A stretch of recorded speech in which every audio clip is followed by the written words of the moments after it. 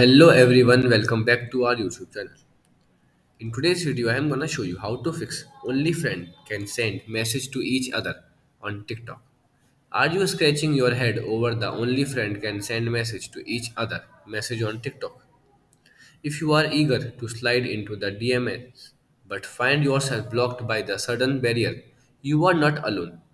In this article, So to fix that issue, you can follow these some simple on-screen instructions. Solution 1. Confirm mutual follow. First, make sure that the person you are trying to message is actual following you back. TikTok privacy settings require mutual friend following form for DMs to be exchanged.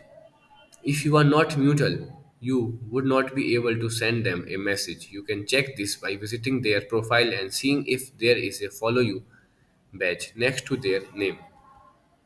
Solution 3 Check privacy settings. The only friend can send message to each other. Error may also arise if the person you are trying to message has their privacy setting configuration to restrict message to friends only.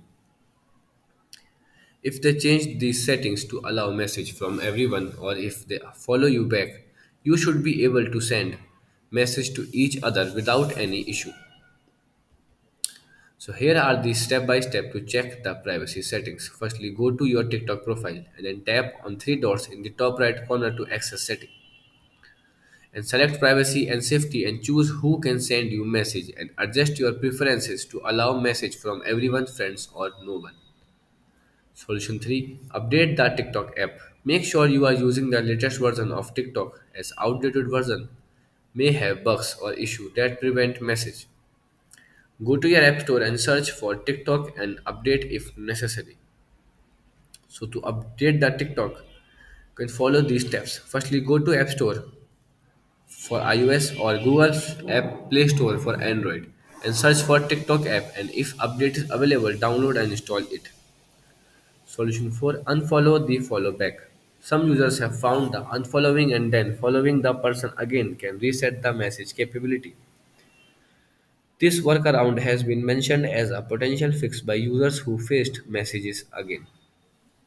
Issue Solution 5 Contact TikTok support. If none of the above solutions work, you can may need to contact TikTok support for assistance. They can be specific issue if account that we will need to address.